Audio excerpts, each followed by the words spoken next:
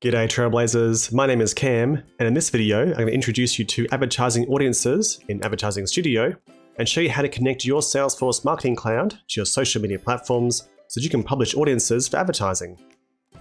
So to begin with, what is advertising audiences?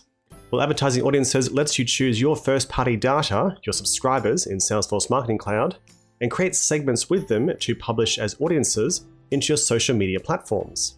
You can use these audiences as targets or suppression, allowing you to specifically target your messages to your known subscribers or to subtract them or suppress them from your advertising or acquisition campaigns. When used effectively, these advertising audiences can save your performance team a lot of ad spend by specifically removing your known subscribers from your acquisition campaigns. It also empowers them to create highly targeted existing customer groups to send very specialized messaging to your known subscriber base.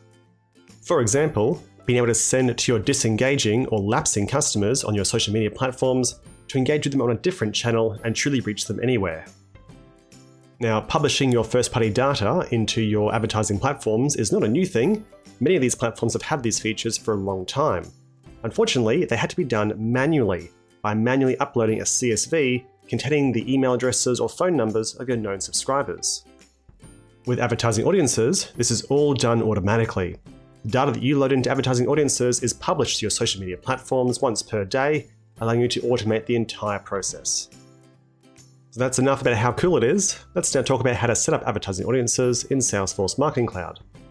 To begin with, we are here on Advertising Audiences, which we access through the top menu selector in Advertising Studio, Advertising Audiences.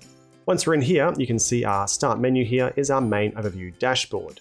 On this screen, we can see how many audiences we currently have set up, some stats about our match counts, and how many contacts are currently in our Marketing Cloud instance. On the bottom, we can see our audiences, and we can choose to filter them to display various audiences based on their creation date, their status, and their ad network. From here, the first thing we have to do is to connect our very first social platform to advertising audiences. To do this, we go up to Administration, and then choose to add a new ad network. We can do this by clicking on the ad network that we want to add. For today, I'm going to choose LinkedIn, so click on the LinkedIn tile. Once you click on the tile, you'll be asked to sign in to the relevant social platform. I can do this by clicking sign in and making sure you enter the credentials for your business that you are trying to sign in for. It's a good idea to make sure you talk to your social media manager and get them to log in with their admin account. This way you'll have full access to connect your marketing cloud with that platform's advertising network. Once the sign-in process is complete, you can then choose from the advertising account on that relevant platform.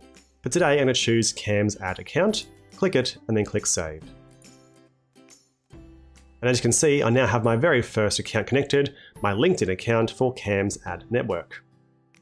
With our configuration done, we can now return to the main overview screen by pressing on Overview. With our social platform connected, our next step is to create our first audience. We can do this by going to the top right hand side and clicking on the Create Audience button. Once here, we can choose a name for our audience. I can choose Test Cam for this audience. I can put a description here as well. I can also choose the destination or the platform I wish to use this audience on. For today, I'm going to use the LinkedIn one as it's the only network I've connected.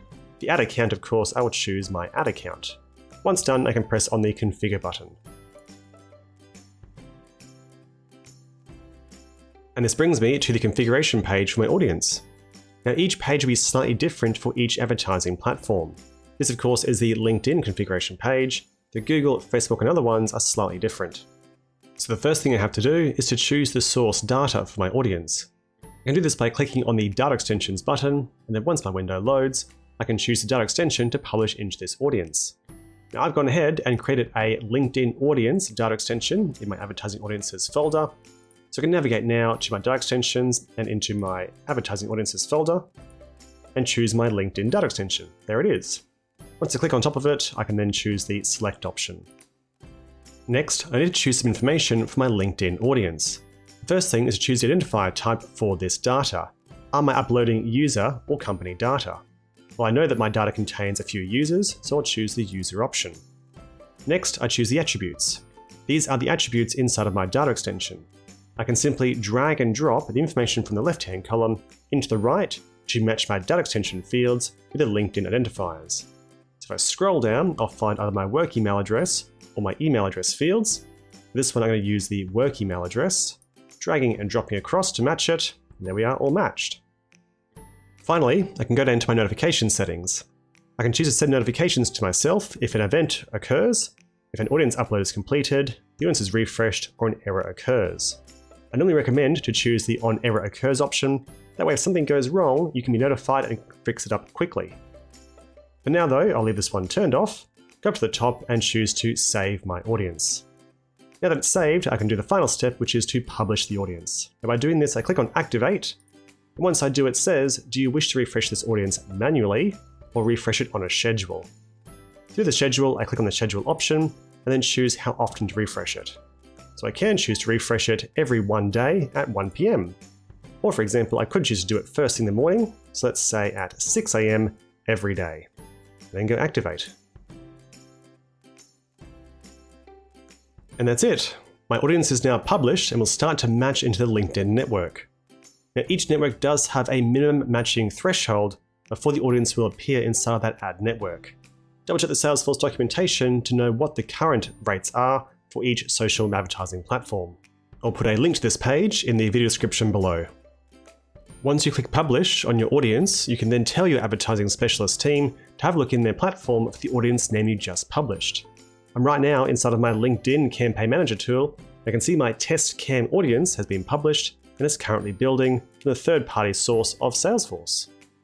And once that audience has finished building, your campaign team can then use that audience as an active target or suppression for their ongoing campaigns.